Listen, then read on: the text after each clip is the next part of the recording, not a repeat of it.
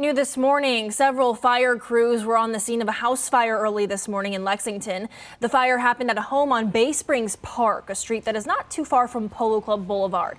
Crews have been there since around 4:30 this morning. The Lexington Fire Department tells us that a small fire started on the back deck of the home and was contained to that area. There were two renters inside the home at the time and both are okay. The cause of the fire is unknown and under investigation. It only took between 100 and 200 gallons of water to put out the fire, which is a relatively small amount. Four suspects have been charged in armed